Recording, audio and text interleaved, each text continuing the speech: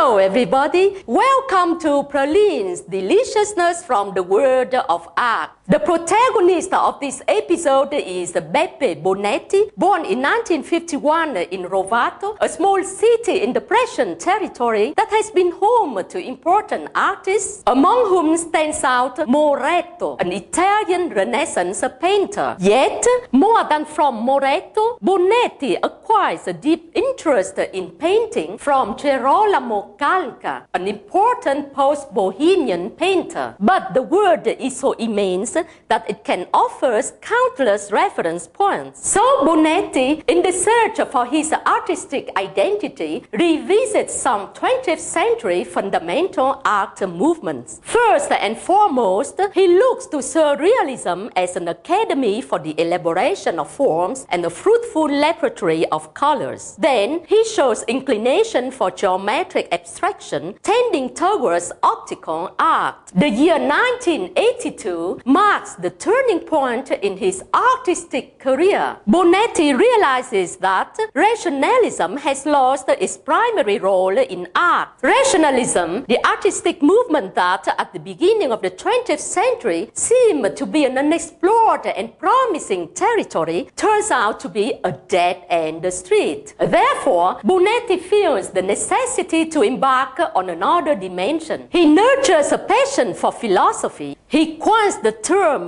meta razionalita, in which the prefix meta stands for over, whereas the geometric abstraction has taught Bonetti the line and the bidimensionality. He now tries to open up the forms and to decompose them into their elementary components. The Vismara Gallery in Milan, alongside with other important galleries, organizes his first important shows. According to Dorfles, Bonetti has understood that our epoch is imposed on the precise choice of transgression of the symmetry, of the falling apart of the established order, of the explosion of the closed and static forms. With this concept in mind, Bonetti has executed various series of works. The first series presents segments of different colors that seemingly fluctuated in a monochrome atmosphere as parts of a scaffold that suddenly gives way. But most of the time, it's the same segments that, when reassembled, give life to the original structure seen through the negative, as in the case of the circle. Bonetti's attempt to reorder the scattering signs in the space can be seen in the series titled Variations of Number 7. Attracted by the arithmetic and symbolic values of this number, Bonetti creates a reticular structure inside the cells of which we can notice infinite variations of seven segments of diverse lengths. Another series, perhaps the most representative on his idea on meta-razionalita,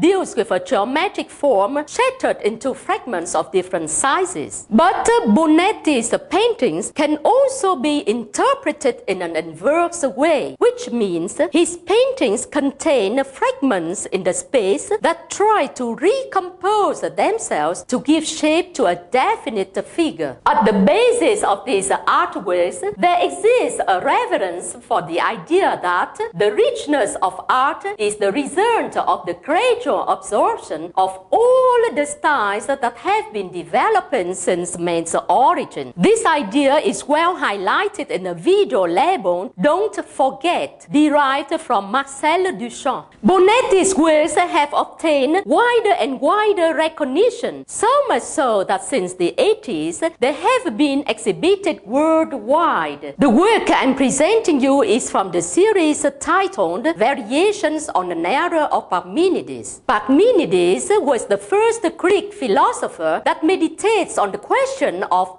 being. Being, according to Parmenides, is a perfectly spherical form. Already in those days, Plato pointed out incongruities, errors of Parmenides' theory. But Bonetti takes inspiration from these errors. He thereby realizes perfectly circular monochrome forms on the border of which stand out geometrical fragments such as rectangulars, triangles, squares. On other occasions, it's the sphere itself that undergoes the process of breaking off. This series also includes sculptures of great beauty.